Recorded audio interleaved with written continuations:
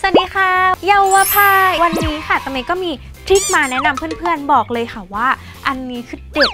มากเลิศมากพูดเลย พูดถึงเรื่องความเหี่ยวย่นที่ผู้หญิงอย่างเราๆนะคะหนีไม่พ้นรอยตีนกา ไม่ว่าจะแบบตีนกาเล็กตีนกาใหญ่ทุกคนนะคะอาจเสียเงินไปกับแบบ ไอครีมราคาแพงๆแพงหูฉีกอะคือประเด็นทาแล้วไม่เห็นผลตังเมคือแบบโอ้ทาทุกวันทำไมไม่หาย เพราะว่า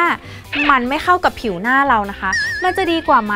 ถ้าเกิดว่าเราอะมีสูตรจากธรรมชาติใช้ได้จริงนะคะ แล้วก็มาแนะนำเพื่อนๆในวันนี้ค่ะ